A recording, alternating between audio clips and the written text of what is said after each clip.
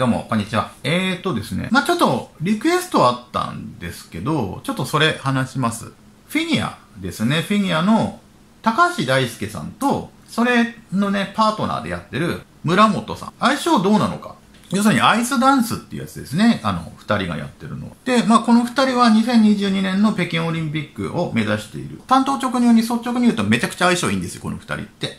まずね、高橋大輔さんは、うんとね、頑固な人なんですよね。うん。もう自分が思ったこと、自分がやりたいことはもう絶対やり抜くっていう意志が強い、ものすごく人間力がある星なんですよ。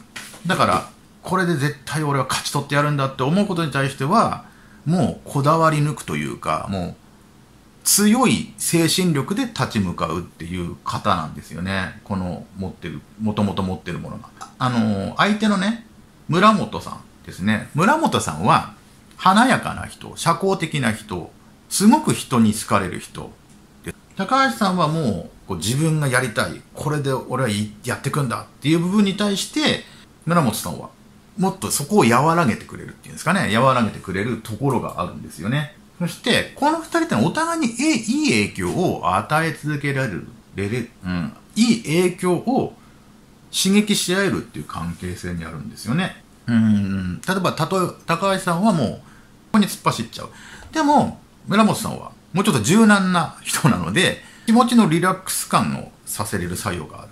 村本さんは村本さんで、やっぱり自己中な、あの、人から好かれるので自己中なところもあるわけですよ。で、高橋さんに関しては、それを、そういう自己中な部分を理解してくれるっていうんですかね。あの、ちゃんと理解する。自己中になりがちな部分を、いやいや、これ、そこの部分って本当はこうなんだよね、とかっていうところを、ちゃんと話し合って理解できるっていうところがあるんですよね。ちょっと懸念材料としては、ちょっと甘えてしまう部分。高橋さんが、村本さんのその、天性のその持ってる社交的な部分っていうんですかね、人当たりの良さに対して、ちょっとやっぱ甘えが出てしまうところがあるので、えー、っと、高橋さんがそれをいかに引っ張っていくですかね。引っ張っていくってことですね。甘えを作らずに引っ張っていく。まあ、抜くとこは抜いて、あの抜くとこは抜きつつ、ちゃんとしっかり締めるところは締めてっていうところでやっていけばすごくいい結果になるし、いいコンビネーションになるんですよね。うん。